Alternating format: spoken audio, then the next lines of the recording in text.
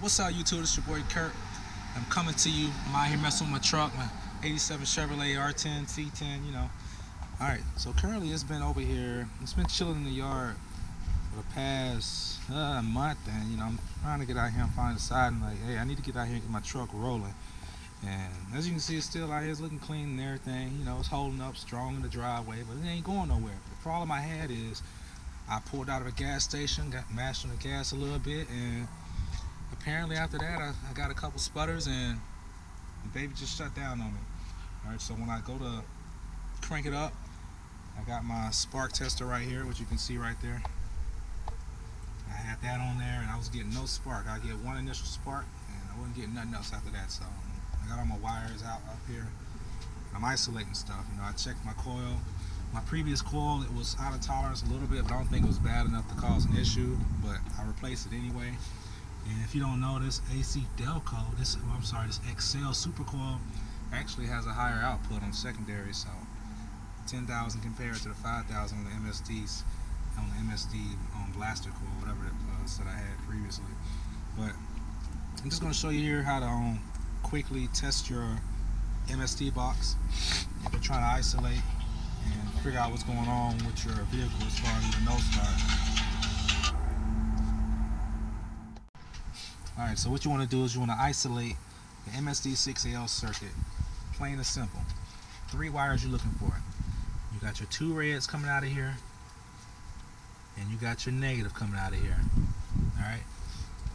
The thicker red wire is your constant 12 volts. Your smaller red wire is your switch 12 volts.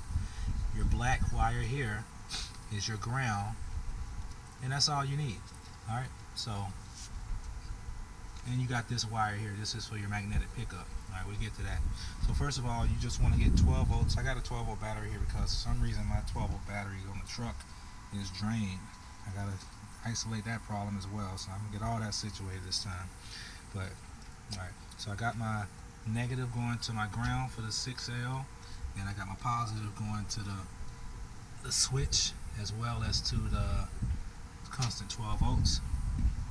And once you got power going to the box, you usually might get your status light on right there unless that light is for some reason blown. And then you just get you a little piece of wire. I mean, you can easily get you the little wrapper that ties your bread up. And all you got to do, even if, whether you're using your tach wire for the pickup or your magnetic coil wire, either one of them will trigger the box.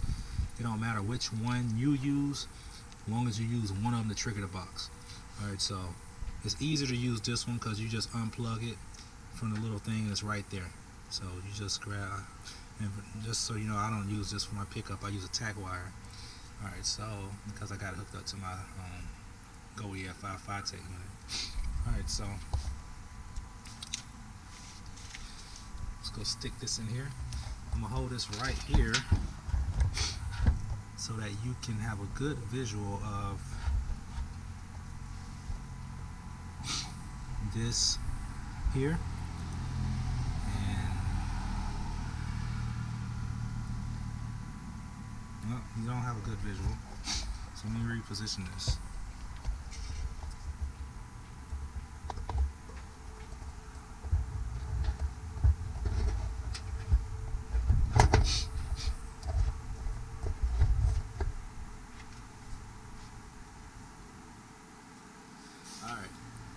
take this, you just stick it in here, like so, and look at the wire over there. And also, you pull the wire that's coming off of your coil, you pull the wire coming off of your coil out of the distributor.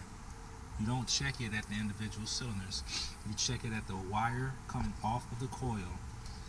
Alright, so what you'll do if you don't have this tool is you could stick a any type of screwdriver in here and put it, lay it across close to the ground and when you energize that circuit it's going to go to the area of least resistance and it'll jump and it'll arc from the screwdriver to the ground as long as your vehicle is ground.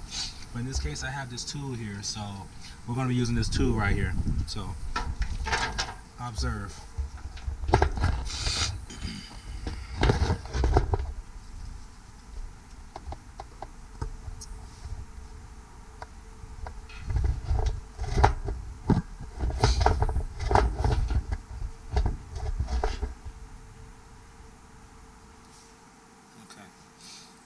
see, I'm sticking this in here. And as you can see, my MSD box is working. Every time it makes contact, it is jumping. And as you can see, that's a pretty nice size gap right there. That thing got a very strong spark. Every time you break that contact, it's going to arc.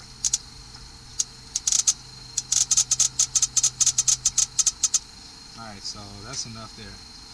So I hope you're able to see that. Um, let me just do it